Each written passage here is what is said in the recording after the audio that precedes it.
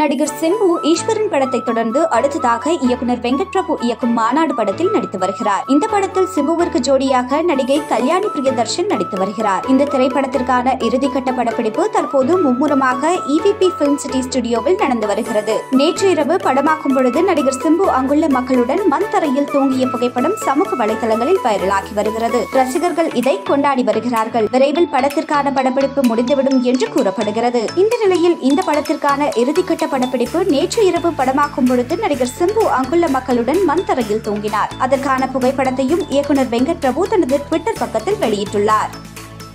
போறதான் போற. இந்த நாய உசூலு பத்திட்டு போ. அவ்வளவுதானே? பத்தி விட்டா போகுது.